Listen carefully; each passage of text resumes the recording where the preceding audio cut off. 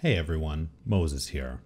Welcome to the second video in the PUBG University series, where we are going to be focusing on the early game. The first thing I want to show you is this map made by ShatterNL. A link to this map is in the description of this video. This map highlights the high efficiency loot zones and has a ton of other great information. It's a great resource overall. When you're in the plane, you can immediately see what direction the plane is traveling even before you actually start moving. Planning your jump is almost as important as the area of the map you're jumping into. I would not recommend jumping out of the plane as early as possible because you'll wind up surrounded by other players, which will significantly decrease your chances of survival. One of my favorite spawns is the late military base spawn, which occurs when the plane is traveling north to south and you jump out last over the military base. The coastal cities are also pretty good for late spawns, but if all else fails, jumping out of the school can be a fairly reliable spawn if you're a decent player with a little bit of luck on your side. When you're on the way down, it's important to use your alt look to count the players landing with you. This will allow you to anticipate how many players might be in the area, as well as give you a general idea as to what direction they might be coming from. When you land, your first priority is to find a gun. It sounds simple, but RNG can be unforgiving in some situations, which will lead you to exiting the game early. Pistols are by far the worst option, but are better than nothing. I'm personally partial to the pump shotgun. Now, this is a personal preference and is certainly not the best choice, but when fighting in a place like the school, it can be devastating. I like to outfit my shotgun with a choke to increase its range. Ultimately, the best early game guns are probably the Uzi, the Saiga, the UMP, as they all have high damage potential and high fire rates the Uzi and the UMP especially, since they share an ammo type. Even though looting is an important part of the early game, eliminating other players is far more important.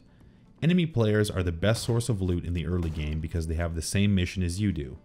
Ultimately, the more players you kill in the early game, the faster you'll be able to complete looting and start planning your next move. A note about looting. Uh, there is definitely a limit on to how much time you should spend looting initially. Obviously, everyone wants the best gear as quickly as possible, but ignoring enemy players to loot instead gives away any potential advantage you might gain by being aggressive. You might as well eliminate them now so they don't come back to haunt you.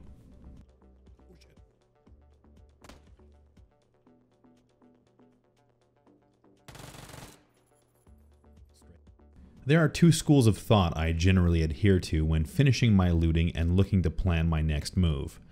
To increase your chances of winning significantly, you could look to ride the circle, which means you will plan your next move depending on where the first safe zone, depicted by the white circle, begins. When playing the circle, you will camp at the edge of the safe zone, taking out enemy players at the border and allowing the other players to kill each other while the safe zone slowly shrinks. If you're simply looking to win, this strategy is fairly effective, but is subjective to what is called circle luck. That's a concept I'll cover in a later video. If you're looking for a more adventurous style of play, you could look to find a vehicle and simply drive to an advantageous area deep inside of the play zone and start looking for other players to kill.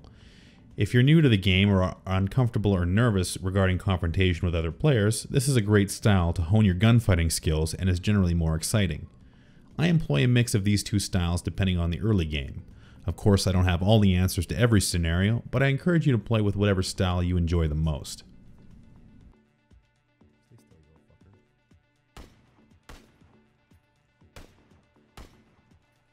Thank you for taking the time to watch this video. There will be more like it coming soon, uh, but until then, I hope you, if you liked the video, you hit that like button and subscribe to me on YouTube for more content like this in the future. Of course, I encourage everyone to come and visit me on Twitch at twitch.tv slash WTFMoses. Thank you for your viewership. I hope you enjoyed the video, and until next time, I will see you guys out there.